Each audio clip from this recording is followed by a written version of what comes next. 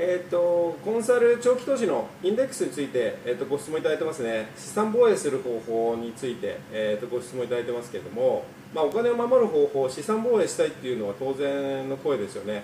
えーとまあ、これをですね、えー、と長期投資のインデックス、アクティブではなくてインデックスでできると、そして国内ではなくて、えー、とアメリカでの株ってやるってことなんですよね、ポイントは。まあ、世界全世界株式、とにかく分散をしていくっていうのが、えー、と何よりポイントになります。なので、えーとま、間違ってもですね仮想通貨とかですね、えーとまあ、国内の株、あとは、